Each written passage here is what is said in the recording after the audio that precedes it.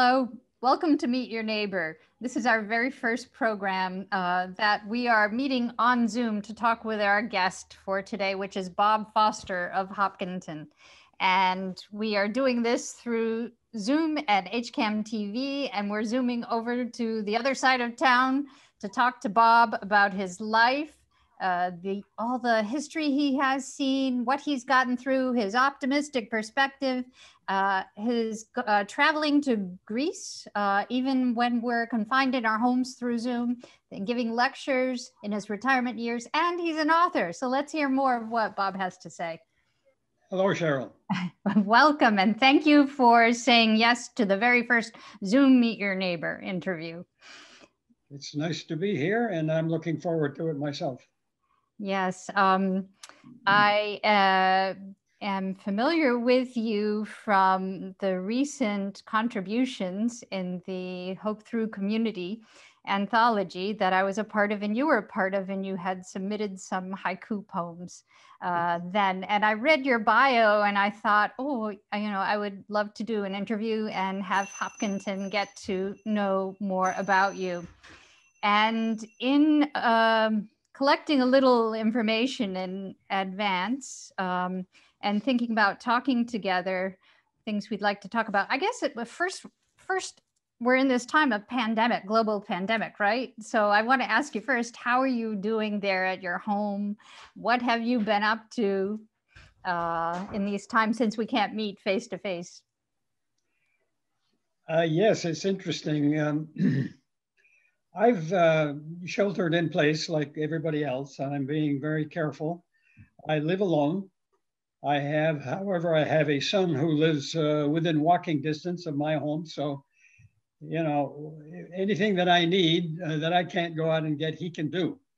So I'm pretty comfortable. Um, I've got everything I need and uh, food when I need it. And of course, uh, the, the, the worst for me, like everybody, is just losing contact with friends and not being able to uh, to see people and go out to dinner and all those wonderful things that we do. But I, I, we you know my generation, those of us who are retired and we don't have little kids around the house to worry about, we're pretty fortunate. And I keep uh, telling my peers, as much as we complain about it, we're pretty fortunate. Uh, we're safe, we're warm, we're we're well fed and we don't have uh, a lot of heavy responsibilities with uh, young children. I, I really, I feel for those young parents who have children at home. That's got to be uh, very, very difficult.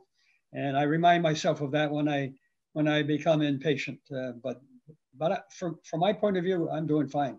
Oh, good to hear. And I agree with you about how difficult it must be to be parents and children in these days. Yeah. Um, now, what I wanted to start and ask you about is understanding that you are a, a, Great Depression baby, I believe, as you put it, and you grew up in World War II, and you were uh, in the presence and awareness of the atomic bomb, as you had made reference to, and the Cold War and the Korean and Vietnam War. You've been, you've seen a lot of life and and now we are facing this time which seems like no other of the global pandemic and more. There has just been so much going on. And yet i uh, one thing i know about you is you identify as an optimist. And i'm curious about what that means how you are an optimist. Uh, it's so important to hear i think more about an optimist perspective in these times Yes, well, it's interesting. I, I have two grandsons, and they are, uh, you know, in their early 20s.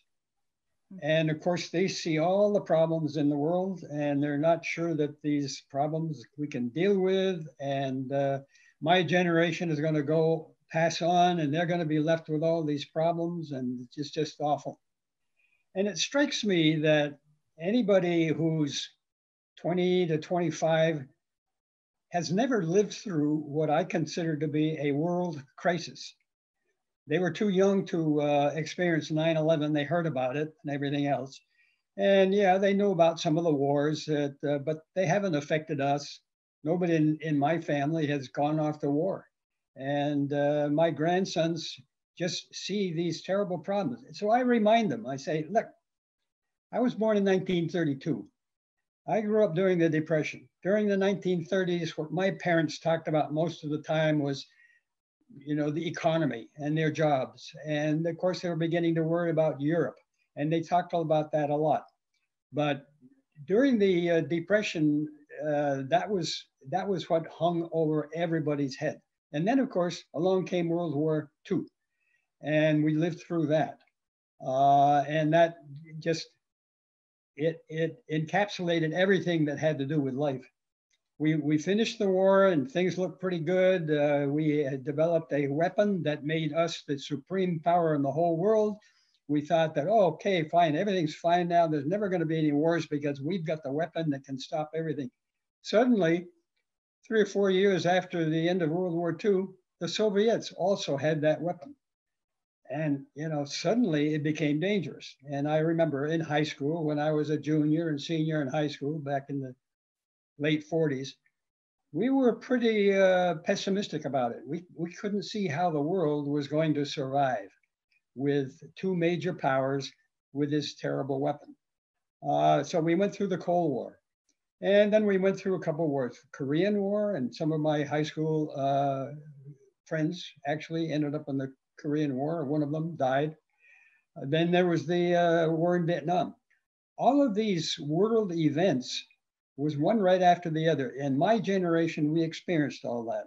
And so when I talk to my grandsons, I say, look, you know, this this world has uh, survived some pretty uh, difficult and dangerous and, and frightening times. And we got through it. And this country got through it. And this country now is going through some very difficult times too. And we were, I was talking to my sons back when we had a president who, um, well, let's not talk about that. But anyway, it was depressing for them too. And I said, look, we get through this too. That's why I guess maybe why I'm a, an optimist. Uh, uh, and and then this this this current uh, pandemic uh, you know, I, I, I talk a little bit about that if it's okay, Cheryl. Sure. My mother was an RN. She was a registered nurse. She graduated. she graduated from nurses training in 1918. Wow. Right, yeah, right at the height of the Spanish flu. And for the rest of her life, she never forgot what it was like. She talked about it. Uh, and I remember even from my youngest years hearing her talk about how terrible that was. Well, in the Spanish flu, 30 million people around the world died in the Spanish flu. And that went from 1918 to about 1919.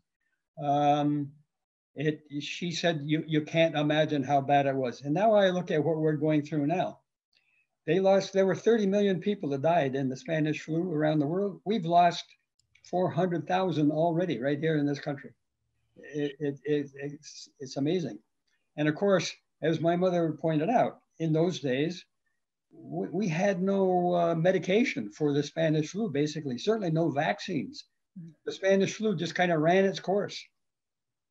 And we today, we have vaccines coming out, at least two that have been improved in this country, and uh, several more that are on the, you know, in the labs still and we do have some uh, treatments for those who are sick.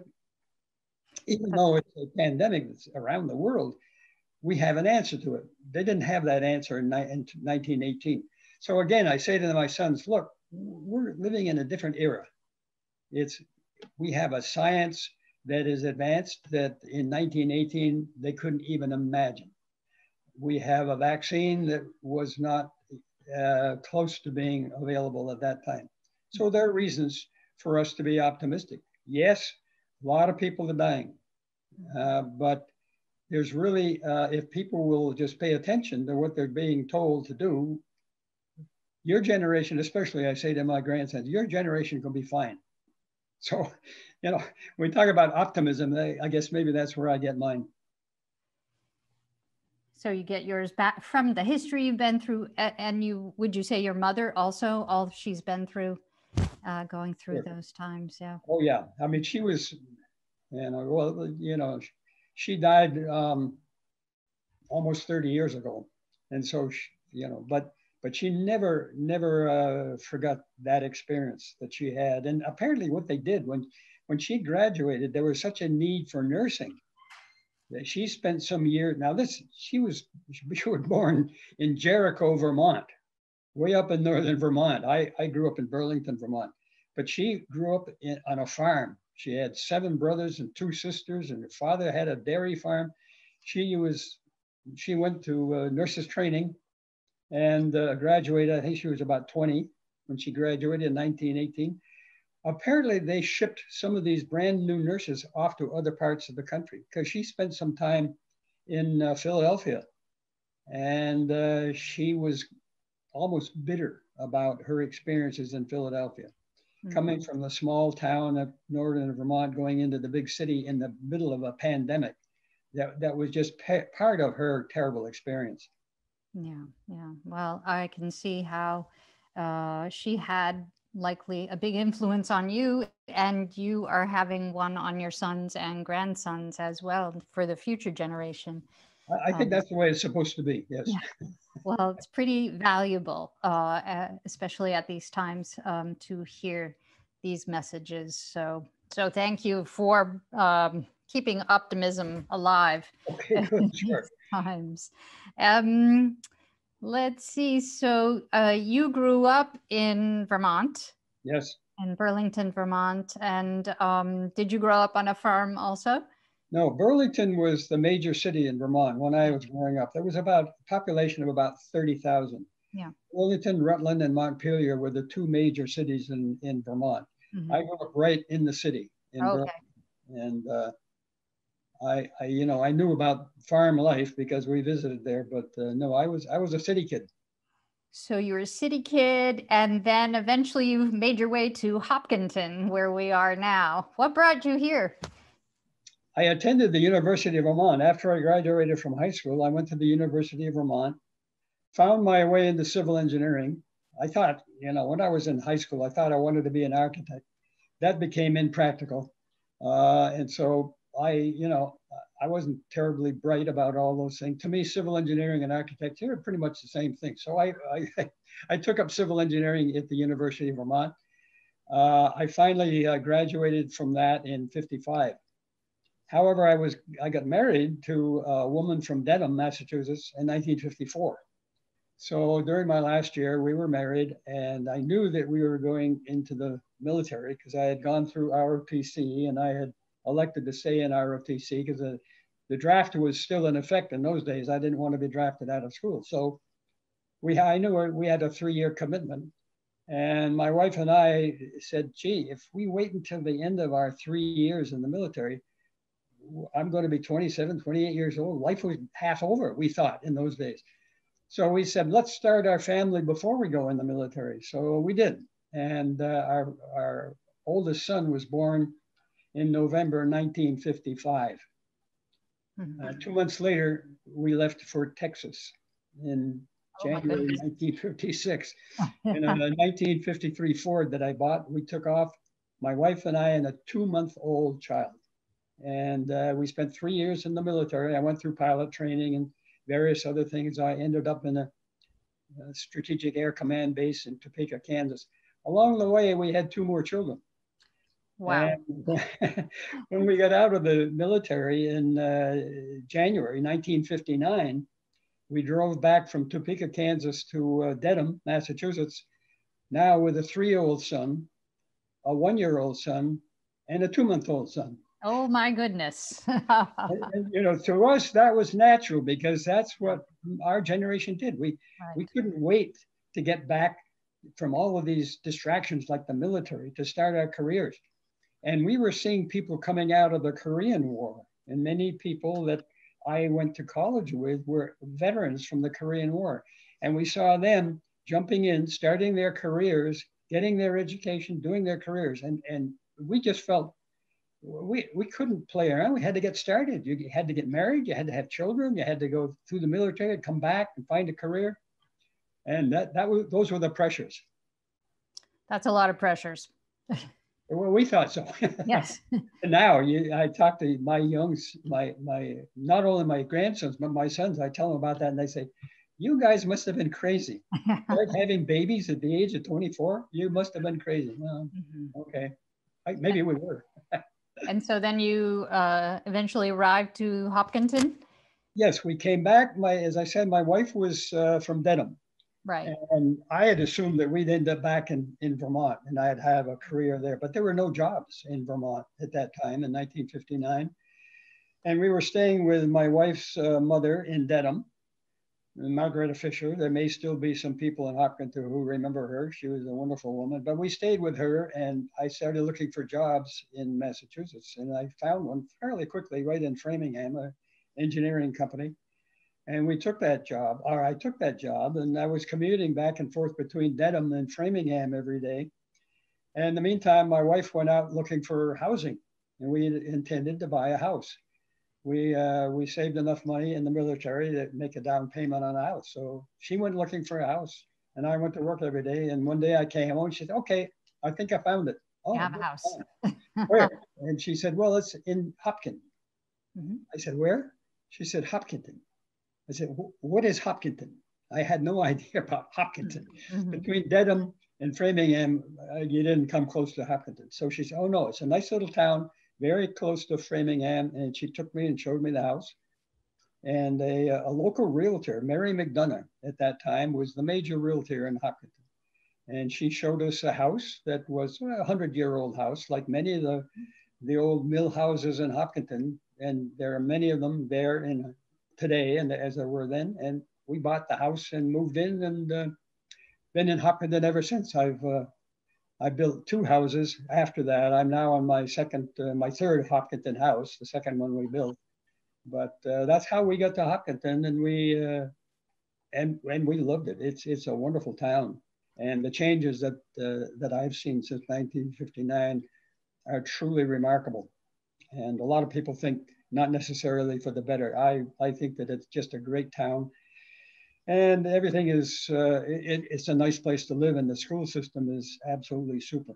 Mm, well, that's uh, wonderful to hear and inspiring. And I'm glad you have moved here and you, and you uh, continue on here. Uh, so you worked as an engineer and you are now in your retirement years? That's correct. Yes. Uh, and yet incredibly busy from what I understand. When I have uh, connected with you to do this interview, you had many days scheduled. You were talking over at Greece the other day uh, to mm-hmm. Greece uh, in a lecture. Uh, what what are you involved with? What is this? Uh? Well, it's it's very interesting. I, I got involved in an international federation. it's the International Federation of Surveyors, actually, and FIG. Fédération Internationale Géomètre. Ah. and I was president for uh, three or four years and uh, became quite involved in that organization. And it's a federation of national associations of cartographers, geographers, surveyors, and engineers, with about, uh, I think now it's like 110 or 120 national associations members. And, you know, I did a lot of traveling. Um, we, we talk about you know, what do you like to do? I like to travel. Well, I I visited at least 30 countries while I was oh goodness, wow. leadership of FIG. And I met a lot of nice people and I met people in Greece, uh, made good friends in Greece, and especially a couple, married couple, two professors at the National Technical University of Athens. Mm-hmm. And we corresponded for years and they have a beach house and they invited me to their beach house right on the Aegean. And of course, I've been doing that ever since every summer for well 15 almost 20 years. But they're they're academics. And uh, you know as you know academics write a lot. They're always doing uh, research and writing. And everything that they write they try to publish and everything they publish has to be in english. Almost all of the journals that they're interested in are english and they all start there. They become uh, you know something else later on. But they start and now their english is good and their their conversation English is good, but when it comes to writing, they need a little help with syntax and punctuation and things like that. So I'm their editor. so, mm-hmm. so they write all these papers, they send them to me, I go through them, edit them, send them back. The quid pro quo is they say, come on over for the summer. Well, how can you say no to that? well, you know, I've been doing that and now in with this whole uh, pandemic thing, of course, they're doing the same thing we're doing, and they're they're working with their students virtually. They're still involved at the university, both of them. The, the husband is now the dean of the program, and his wife is a uh, is, is a full professor. But they're working with their students mostly virtually. So a couple of times they've asked me to, to come on board, just as we're doing here with Zoom and lecture on particular subjects that are of interest uh, to them that we are, you know, concerned about here in the United States. I spent two hours the other day talking about ethics, for instance. You know, there, there's one that'll put you to sleep, but uh, but they were interested, and uh, so that that's how I get to do that. Well, that's wonderful. And you show, you embody the spirit of Hopkinton in a way, uh, how we are a global town for one day with the Boston Marathon. We reach out to uh, countries, places all over the world, and they come here for one day. And you go out there, and you are. It sounds like you've been a bit of a friend to people in 30 different countries, and and you get opportunities like this. That's wonderful. And um, so, well, how fortunate. As a matter of fact, I got to tell you that you know we we developed a relationship with the town of Marathon, Greece several right. years ago, and yeah. they were basically we were sister cities. That's right. Yeah. And, uh-huh. uh, I was because I was going back and forth with my friends. I said, okay, I'll I'll jump in there, and I I went to Marathon a couple times and met with them, and it was a wonderful relationship we had. Wonderful. And yeah. you speak a little uh, Greek? No.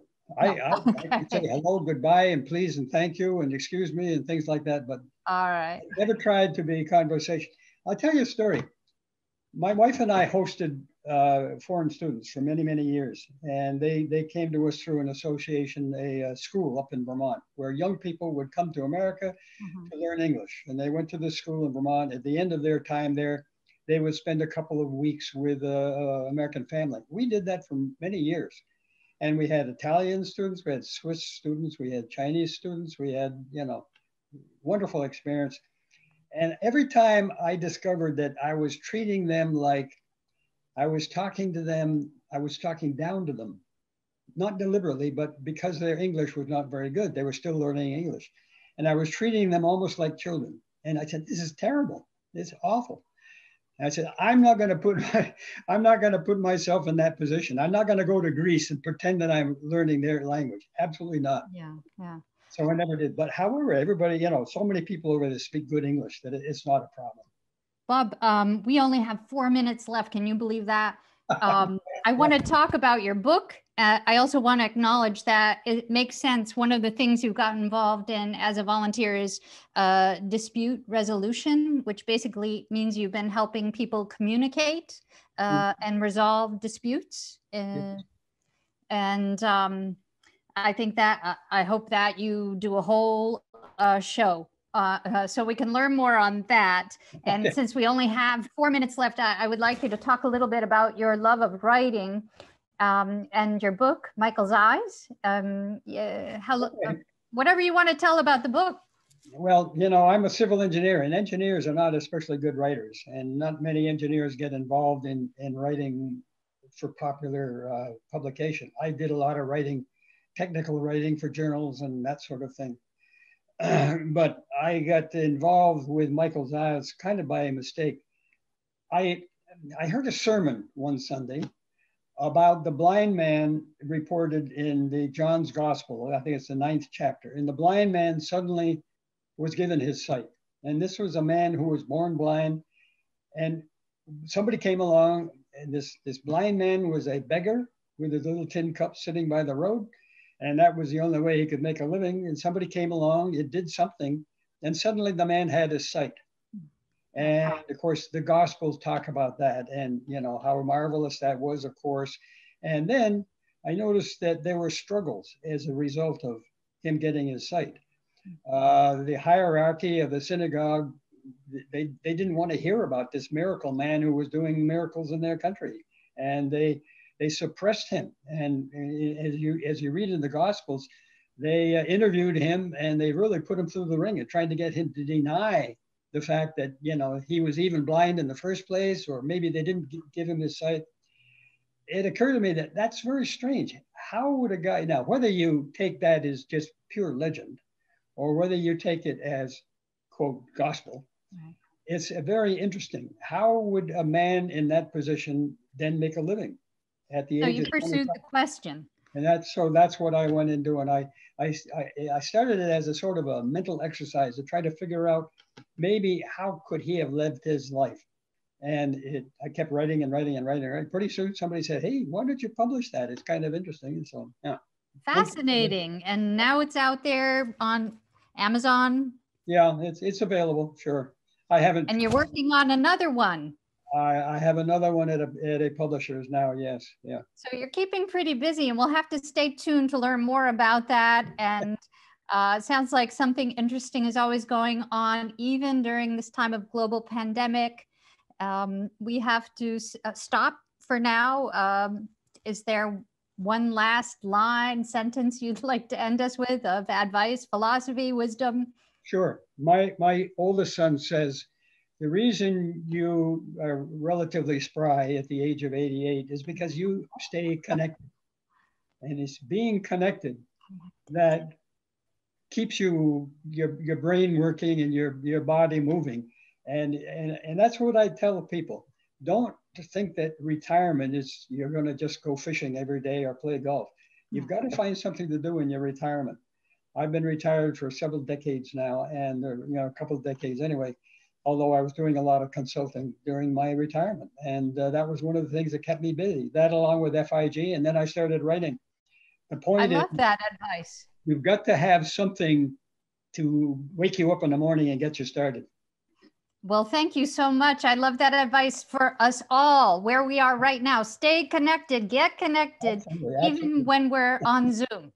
Okay, good. Yes. Thank you so much, Bob, for your time, your interview today. It was wonderful and inspiring, and I wish you good days going forward. Thank you, Cheryl, very much. I enjoyed it, and it's an honor. Thank you very much. All right. Thank you.